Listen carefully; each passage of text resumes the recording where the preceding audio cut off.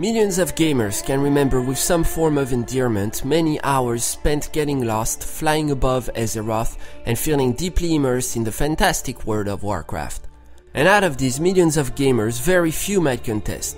Blizzard's most enchanting tool is the award winning music that their artists create. We had the chance to speak to Neal Acree, whose work also includes StarCraft 2 and Diablo 3. A fan of movies and their music from a very early age, Neal's first records were soundtracks by John Williams, Jerry Goldsmith, and James Horner. Though originally planning a career in art, his early experiments in electronic music began to take over his life. After studying classical, ethnic, and electronic music, Neil began to see that film scoring was the ideal outlet for his love of movies and music. Soon after, his childhood love for video games, that began with an Atari 2600, would find a new outlet in writing music for games when he scored the opening cinematic to The Burning Crusade in 2006. Games would offer a whole new world to play in musically and gave Neal the opportunity to work with large orchestras featuring some of the finest musicians in the world. The first question of our interview puts on the forefront of the conversation the fact that we're a young company run by PC gamers across the country. And as one of our founding philosophies, we strive to gain a better understanding of the career paths taken by the artists behind the games we love. Therefore, Neal, we'd like to spend the first part of this interview understanding how you went from early experiments in instrumental music to scoring the opening cinematic for a game like World of Warcraft. Maybe you could share some of the challenges you faced throughout the years and some of the successes that inspired you in in hope that, that your message might bring some wisdom to musicians in our team. Well, I started doing a lot of film stuff, film and TV. Um, you know, I scored a lot of student films and eventually ended up doing movies. I worked for the composer Joel Goldsmith, who's the son of Jerry Goldsmith, and that led to um, working on the Stargate SG1 series with him. And, um, you know, I was doing that for several years and uh, eventually um, that kind of transitioned into games because I had an agent at the time that uh, was a little more focused on games than than I had been up until that point, and wanted to, you know, try to get me into doing some game stuff. And I always loved the idea of it because I I've been a gamer since my first Atari 2600 when I was a little kid, and um, you know I'm it was I managed to get an audition on World of Warcraft Burning Crusade. And can you tell us about you know, that? I'm very interested to hear more about your first time with the team and how something like that all goes down.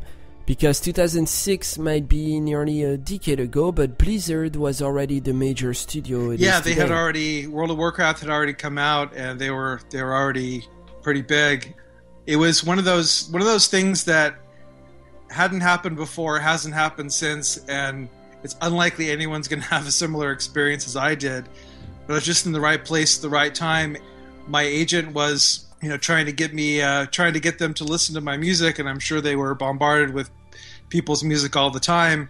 And um, he helped them try to get a hold of somebody else, and it's kind of a long story. But as a favor to him, they said, "Okay, well, we'll listen to your clients." and they they listened to my stuff, and I, I just happened to have a, a, similar sound to what they were looking for, and uh, they gave me a chance to audition by, you know, scoring uh, scoring sort of a, a, a test project, and um, they liked what I did, and the rest is and history. I'm assuming you must have been pretty happy with the news.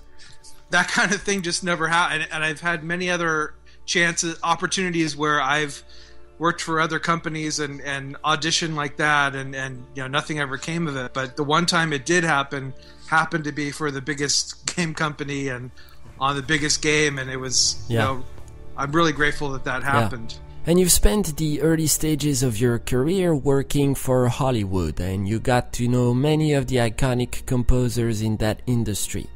We're talking about guys like James Horner, Hans Zimmer, Jerry Goldsmith, so when it comes to composing, I'm curious to find out um, what would you say are the main differences between working for the big picture and working for the video gaming industry? Are you going to find some opportunities, for example, in the PC universe that are not common to cinema? And, and if so, how do you foresee the gaming industry evolving in regards to, to such realities? the main difference between scoring a film and scoring a game uh, is is the time frame. Uh, you know, a, a game might be anywhere from you know three or four months to over a year in, in the development process, uh, whereas a film is usually about you know four to six weeks, and for, for about the same amount of music. So you know, on a film, just you know, you kind of have to knock stuff out really quick, and you know the the budget. It's it's different at different levels, but I'll say the the budget of the movies that I've been working on lately and the budget of the games I've been working on lately are very different. So the you know budget for the films will often not allow for more than you know three or four musicians. So I'll do you know record a, a vocalist or a solo cello or something just to kind of have something live in there to to get a you know a human feel to it. Mm-hmm. But on the game side of things, it's 99% real full orchestra, and I'm grateful for the chance to work with musicians because there's nothing like it. And that's really the reason I got into this in the first place is you know the, the chance to work with real musicians and so you you don't actually score the music from afar. You're actually in the midst of it all. You from in, in every step of the process. Yeah everything from you know the initial uh, you know meeting where we we look at gameplay footage or artwork or I do a lot of the cinematics, which involves actually watching the little you know four minute movie and talking about the timing, and then I'll go and I'll write it, and then we'll go back and forth with the director and kind of fine tune things. And the timing changes over a few months. I'll make adjustments and stuff like that. Eventually, we record it with the orchestra, and I mix it and deliver it. You know the full the full product. And and who would you say is the person you work with the most uh, in the Blizzard team to to get the product delivered?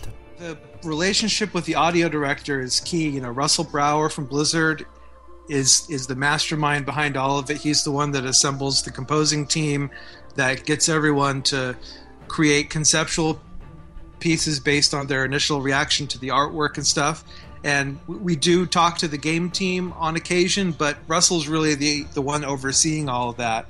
So it's it's important for any any composer. The, the audio director is the representative of everything audio for a game company, and they're in charge of how the game's going to sound, and you know musically what ideas are going to be you know talked about, and uh, they're kind of the ringleader in that sense, and then yeah, the, the, the game team. There's there's always somebody in charge of like the overall, you know, game development. Or in, in, again, in the case of Blizzard cinematics, there's a whole different department that's just does cinematics, and yeah. everyone everyone tries to work together and and create a cohesive project.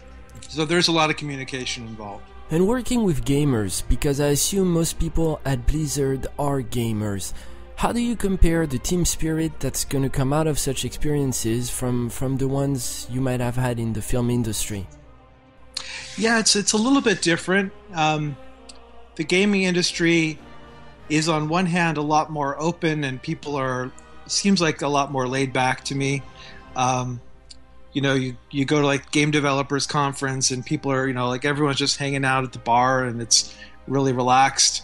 But at the same time, you know games because of the you're, you're developing a game over several years and and there's just so much at stake there's a lot more secrecy about how the game like what the games are being made how they're being made you tend to not hear about games until right when they come out or maybe you'll hear some rumors here and there but in the film film side of things it's a little more open like you'll kind of you'll hear about this movie's being cast and you know here's who's going to direct it so, so, so, so, you're actually saying that there's more secrecy in the video gaming world than there is in, in the film industry. At least in terms of the, the products being made.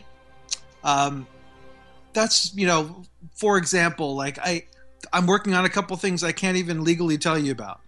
But if I was if I was sure.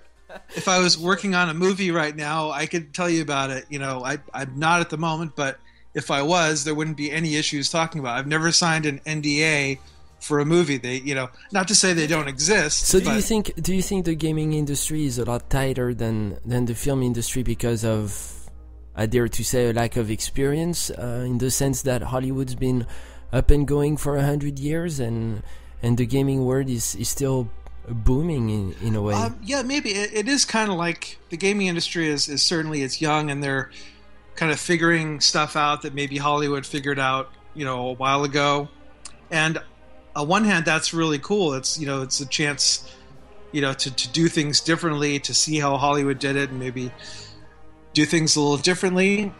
It's it's different, but ultimately, at the end of the day, you know, games and films are just are they're telling stories yeah. and you know they're trying to entertain people. So they're there's more similarities than there are differences i think. Zooming in on the expansion uh, warlords of draenor. How did you approach the project? Uh, because blizzard made the decision to to pull out of pandaria and and really bring us back to the nest so, how does one go about approaching the music for an expansion intent on bringing the player back to the game's origins, uh, with a story wrapped around the orcs? Did you bring that spirit with you the, the first time you sat down to, to start scoring? I, I never, tr- I try to never think about you know who's playing the game or you know what they're going to think of the music or trying to bring more people back or anything like that. I just whatever the, the project is, I try to do the best I can to tell the best story possible. And in this case, excuse me, there was certainly an opportunity to to to kind of go back and do you know do something a little more like the original game. Pandaria was in a completely different direction, and right.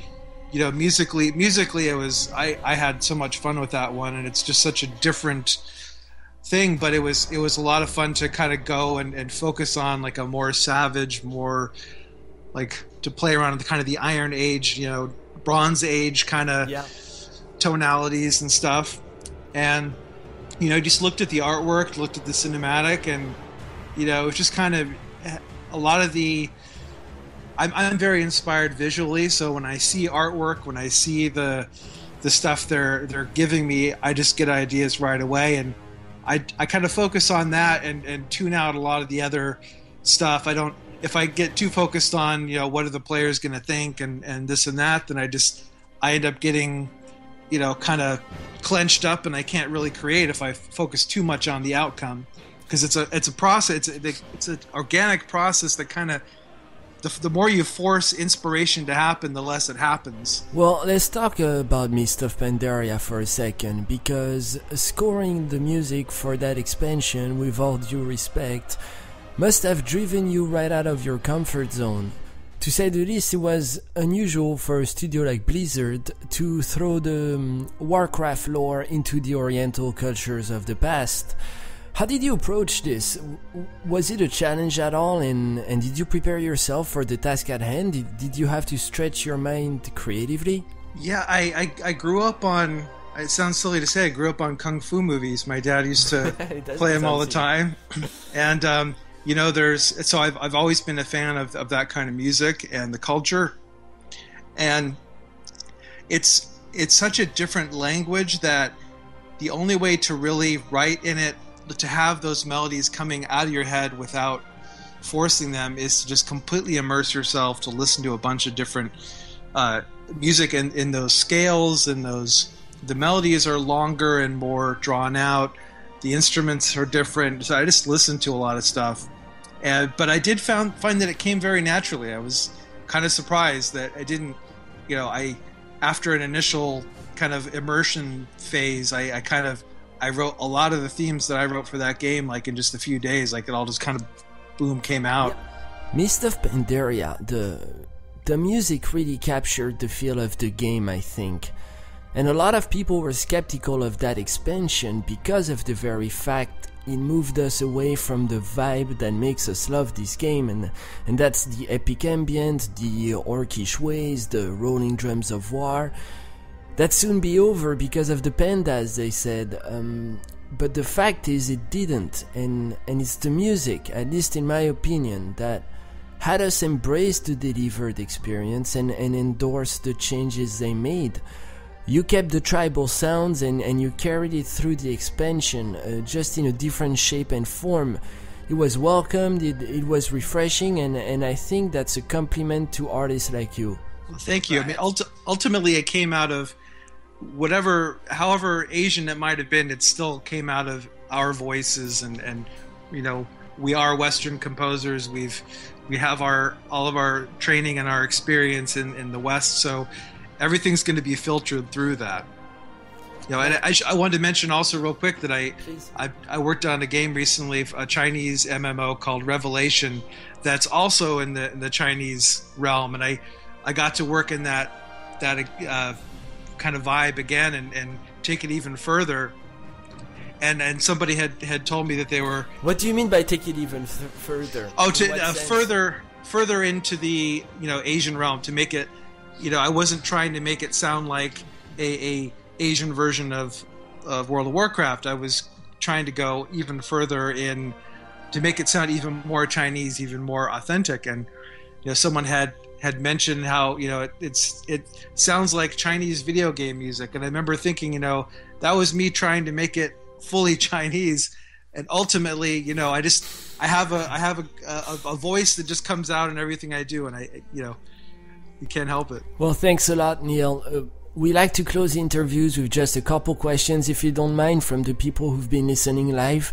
Uh, we like to connect the artists to the gamers, and uh, to this end, I'm going to introduce Josh into this conversation. Um, actually, we have a we have a couple questions from the Twitch feed. Um, we have a couple ones on inspiration. Uh, Zent- Zensis asks uh, if you're inspired by any other artists.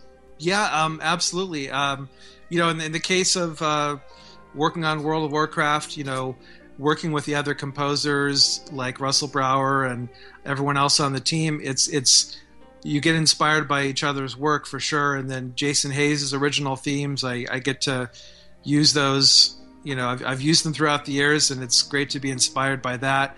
You know, I, I got into this because of John Williams, because of Empire Strikes Back. You know, when I was a little kid, I saw it and you know fell in love with it, and you know, I, I've got got to tell him more than once that that Empire Strikes Back is the reason I became a composer, and uh, you know Howard Shore, I, I, you know the Lord of the Rings scores are are favorites of mine.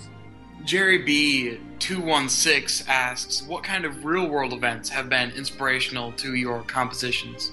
Yeah, that's that's a, that's a great question, and and I certainly, um, you know, life is a a big factor in music, and uh, whether or not you want it to be.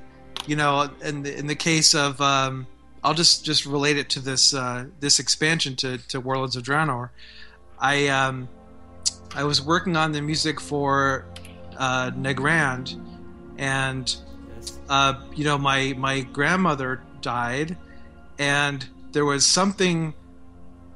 I, I just I was I put all of my feelings about it and my emotions into the music and kind of came up with something that as much as I as I was trying to write a piece that would be appropriate for the area and you know would would, would satisfy the needs of the game there was I just I found myself being pulled in a in a completely different direction than I had ever been pulled. And you know Nagrand and, and Shadow Moon um, Shadow Moon Valley both kind of were just somehow somehow it came out of the you know, the grief of, of that, and it's that's just kind of how it how it happens sometimes.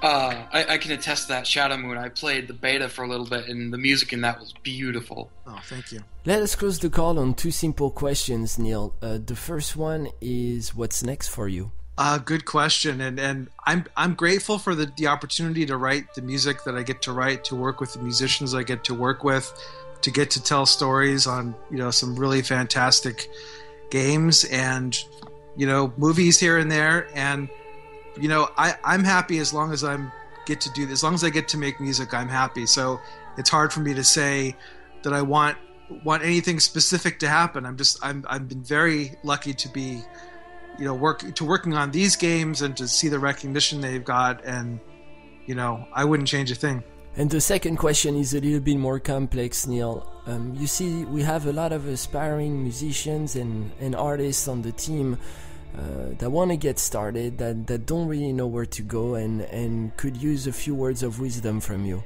Well, there's no pressure there, huh? Um, I'm just, uh, you know, I, I always I tell people, you know, you have to really love it. You have to want, you have to be okay starving to you know I, I would rather starve than do anything else. And that's why i'm doing what i'm doing. Because there was a lot of times along the way that it would have been a lot easier to give up. There's it's just it can be a really challenging career.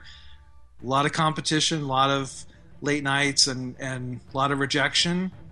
And you know not a lot of people understand just how difficult it is to create music and the value of music and the value of people that that create and um, you know not everyone along the way is going to be really nice and pat you on the head every time you you know you make something and and you kind of have to develop a, a thick skin.